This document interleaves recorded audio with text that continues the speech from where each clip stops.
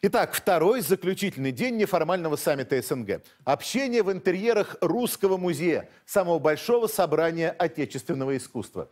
Как переплелись мотивы нашей классической живописи и то, что составляет остроту текущего момента, увидел Константин Панюшкин. Утро вторника, центр Петербурга, Русский музей. Второй день неформального саммита СНГ начинается завтрака, и такого в Михайловском дворце не было уже, вероятно, более ста лет. Ежатся гости. С учетом того, что главы Азербайджана и Туркмении улетели домой в понедельник вечером, оставалось дождаться прибытия пяти кортежей. Опять же, впервые за много-много лет автомобили взбирались на крыльцо по узким вымощенным камням еще в царские времена подъездам дворца. Владимир Путин встречал в одном из залов. Президенты явно были под впечатлением от масштаба экспозиции. О чем при встрече говорили глава государств было не слышно, впрочем, было совершенно ясно, что настроение у всех отличное.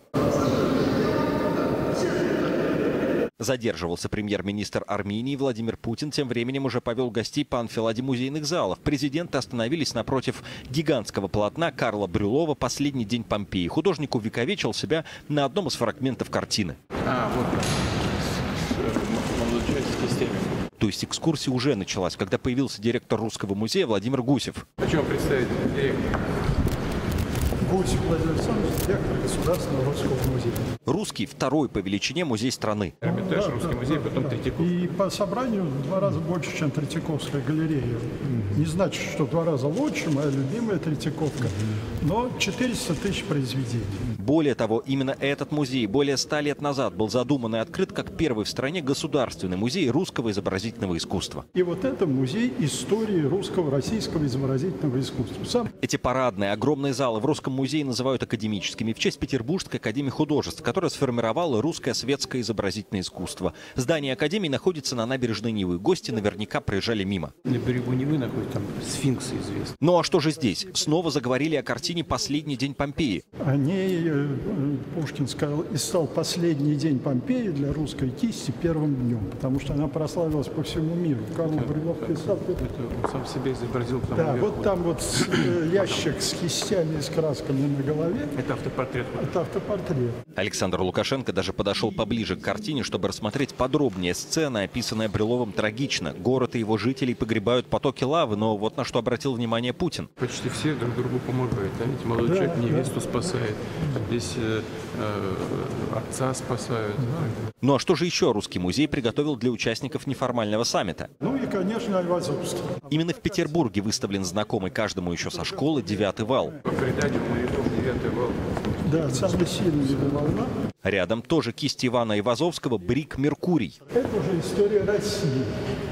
Брик Меркурий, российский брик, который в 1828 году во время русско-турецкой баталии он вступил в бой с двумя турецкими линейными кораблями. На бриге Меркурия было 18 орудий, а на двух турецких кораблях 184. И он победил. Завершилась неформальная секретная встреча в Санкт-Петербурге глав правительств э, Союза независимых государств, СНГ, то бишь. Э, почему секретная? Потому что никто ничего так и не понял, что там обсуждалось, о чем говорилось. Э, это, эта информация, наверное, так и останется секретной в ближайшие лет 30, я думаю.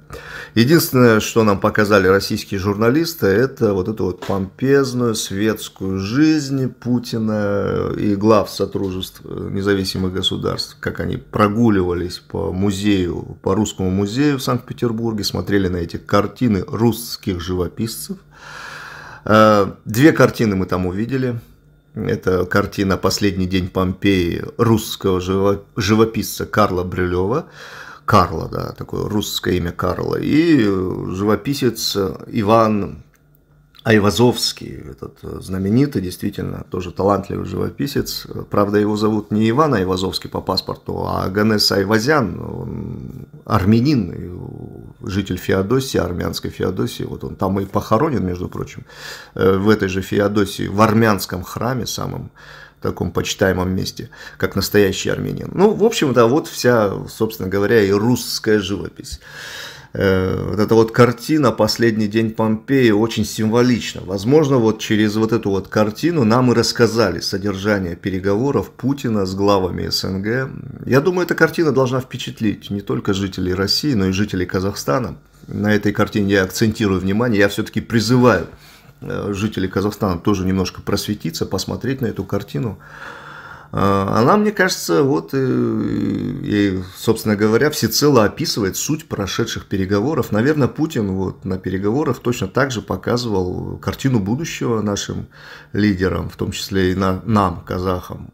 Последний день Помпеи, апокалипсис, вот эта вот огненная стена, спускающаяся с гор. Э, все это вполне возможно, да, ядерная война, все это стыкуется. Э, Карл Брюлев, он, конечно же, не русский, он француз по происхождению, э, жил не в России, а большую часть жизни прожил в Европе, и картину эту «Последний день Помпеи» тоже нарисовал в Европе, живя в Италии. На этой картине отчетливо видны все настроения, царящие в Кремле, да. Мы должны умирать под огненным дождем с радостными лицами, с этими с проникновенными взглядами. Все как нарисовано на этой картине. Настоящего русского живописца Карла Брюлева. А еще один живописец, вот этот вот э, Аганес Айвазян, то есть, как говорят русские, Иван Айвазовский, э, отличился в своей жизни другой картины. Картина называется «Раздача продовольствия». Правда, в русский музей ее не привезли, ее запретили еще со времен Российской империи. Эту картину нигде никогда в России не выставляли. Никогда, подчеркиваю, никогда эту картину не завозили. Картина называется «Раздача продовольствия». На этой картине Айвазовский изобразил русскую тройку, настоящую русскую тройку.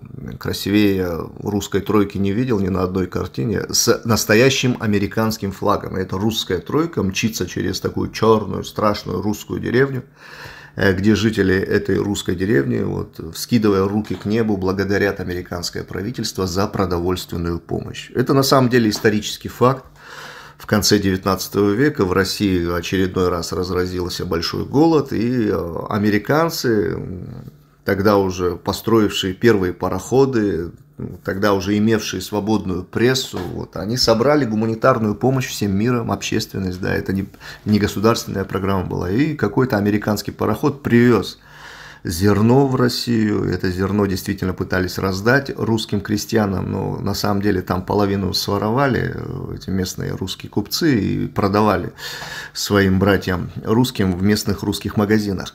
Но это вот другая история слезная, а на ней не будем сильно останавливаться. Главное, что вот эта вот картина раздача продовольствия, которую вы видите, она, собственно говоря, не потеряла своей актуальности э, даже спустя сто лет Картина осталась в мире та же самая, да, Россия голодает, Америка помогает. Наверное, так было, так есть, и, наверное, и так будет всегда. Спасибо за ваше внимание, спасибо за ваши лайки и комментарии, подписывайтесь на мой канал и до новых скорых встреч.